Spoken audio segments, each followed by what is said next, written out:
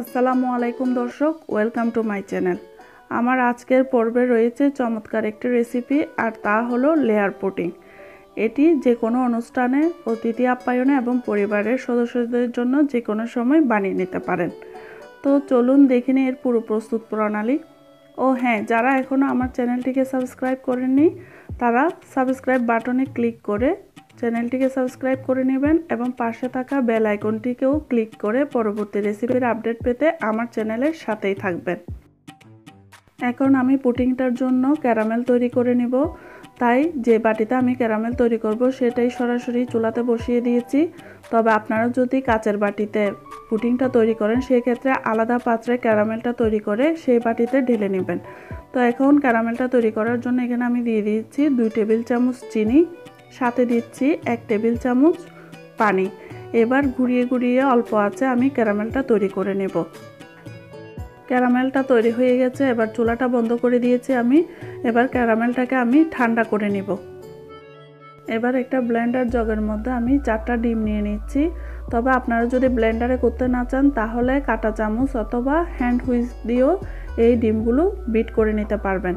এবার এর সাথে দিয়ে দিচ্ছি আমি আধা কাপ চিনি, তবে চিনির পরিমাণটা আপনাদের স্বাদ অনুযায়ী দিবেন। আর দিচ্ছি এক কাপ ঘন দুধ।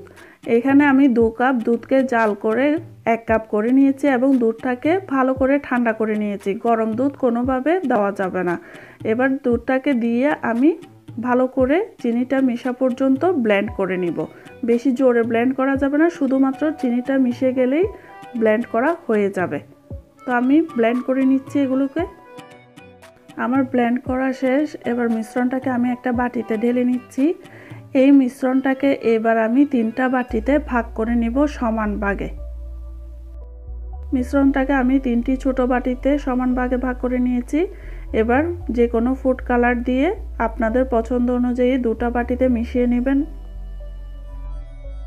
আমি একটা বাটির মধ্যে সামান্য পরিমাণ রেড ফুড কালার নিয়ে নিয়েছি। তবে কালারটা আপনাদের পছন্দ অনুযায়ী নেবেন। আমি এখানে একটাতে রেড কালার অ্যাড করব আর একটাতে গ্রিন আর একটা নর্মালি থাকবে। এখন আমি রেড কালারটা মিশিয়ে নিচ্ছি ভালো করে।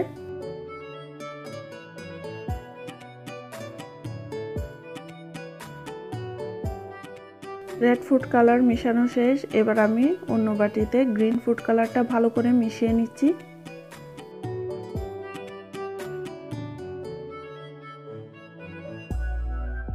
রেড এবং গ্রিন কালার মিশানো শেষ হয়ে গেছে এবং অন্য বাটিটা আমি নর্মাল রাখব, ওটাতে আমি কোনো কালার অ্যাড করব না। এবার ক্যারামেলের উপরে কালার ছাড়া যে মিশ্রণটি রয়েছে সেটা আমি ঢেলে দিচ্ছি। তবে আপনারা চাইলে অন্য কালারও আগে দিতে পারেন।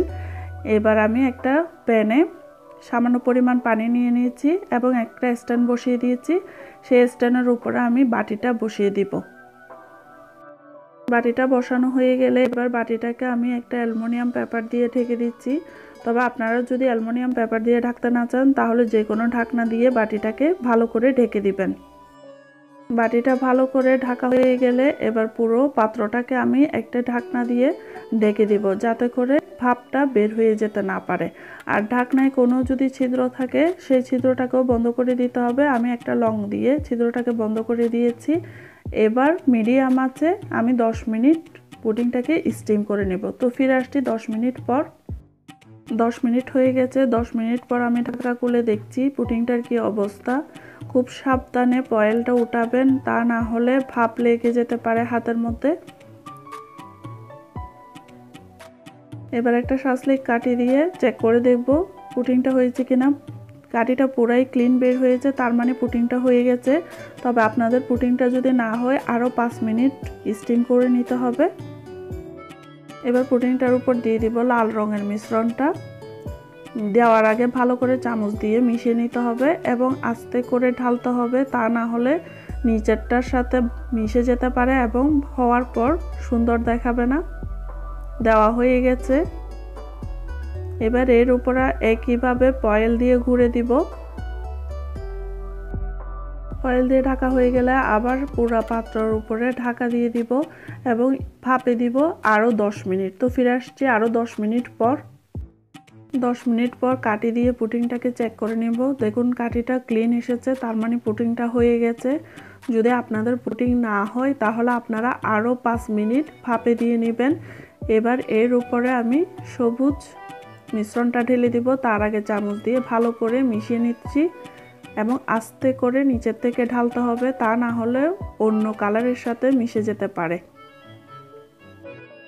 ঢালা হয়ে গেলে এবং একই নিয়মে আবার পয়েল দিয়ে দিতে হবে যাতে করে পানি ঢুকে যেতে না পারে এবং পুরো হাঁড়িতে ঢাকা দিয়ে স্টিম করব আরও দশ মিনিট।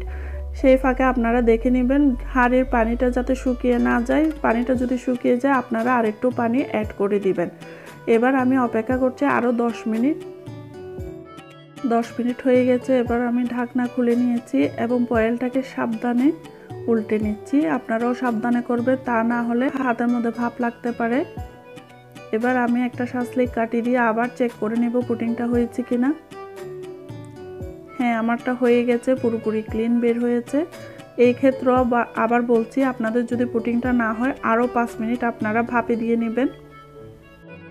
পুডিংয়ের বাটিটাকে আমি চুলা থেকে নামিয়ে নিয়েছি। এবার এই বাটিটাকে নর্মাল তাপমাত্রায় রেখে ঠান্ডা করে নিতে হবে। ঠান্ডা হয়ে গেলে ফ্রিজে রেখে আরও দু ঘণ্টা ঠান্ডা করে নেব। তো ফিরে আসছি আরও দু ঘণ্টা পর। তৈরি হয়ে গেল আকর্ষণীয় লেয়ার পুডিং তবে যারা স্বাস্থ্যের কথা ভেবে এই পুডিংটা খেতে চান না, তারা তৈরি করে নিতে পারেন ক্যারামেল পুডিংটা সেই ক্যারামেল পুডিংয়ের রেসিপি আমার চ্যানেলে দেওয়া আছে, আমি ডিসক্রিপশন বক্সের লিঙ্কটা দিয়ে দিব, আপনারা চাইলে ওখান থেকে দেখে নিতে পারবেন। তাছাড়া আজকের ভয়েসের জন্য আমি খুব দুঃখিত, কারণ আমার ভয়েসটা ঠান্ডায় বসে গেছে, সেজন্য আমি আন্তরিকভাবে দুঃখিত।